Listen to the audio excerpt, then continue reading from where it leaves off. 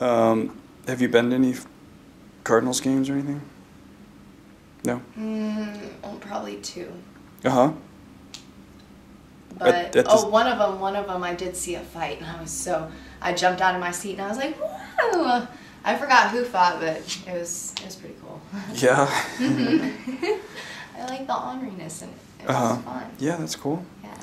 And then do you uh, do you ever go to fights like any like cage fights or Oh, I like watch that? UFC. Yeah. I used to stand in front of the TV and practice their moves. You know, it was so yeah. That's how I learned how to fight. Oh yeah, you're a fighter too. Yeah. Wow. What Mhm. what do you uh, practice? I mean, do you like karate or something or? Uh, no, I like boxing. You know, okay. Wrestling, Right. but it's more like boxing. I, I like hitting the bags. You know, Uh huh. it's pretty fun. That's cool. And then do you wh- who will you spar with anybody ever? I have.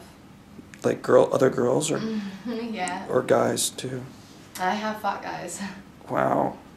the first person I've ever fought was a guy. Any uh, so you, but you wear the head headpieces and stuff like that to Mhm. protect yourself. Mhm. Yeah. Yeah. Exactly. Yeah.